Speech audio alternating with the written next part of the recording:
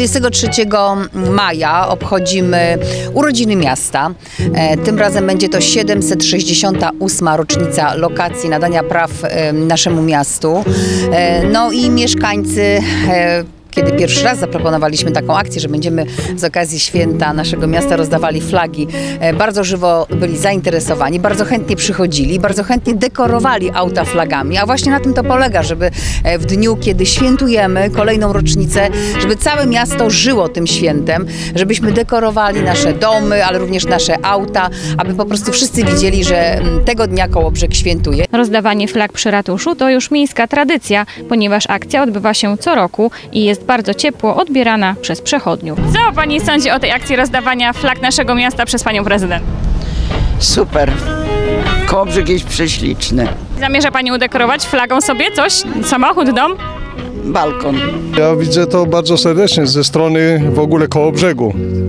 Z rządzących tutaj panią Mieczkowską.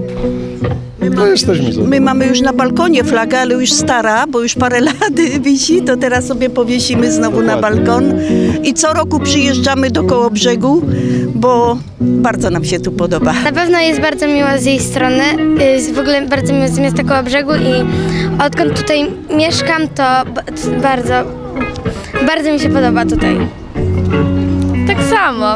No bardzo po, pożyteczna i, i ch- chwalebna, no. Te dni koło brzegu, no, y, nierzadko się zdarzają tak często i, i no, bardzo przyjemna, bardziej fajnie, bo pogoda dopisuje nam piękna, także okej. Flagi pan dla wnuków, tak? Słyszałam? Tak, tak, no, bo wnuczka akurat w szkole jest, dzwoniłem, mówię, żeby przyszła tutaj, nie może, bo w szkole jest, mówię, no, spróbuję, zobaczę, spytam. Czyli się udało.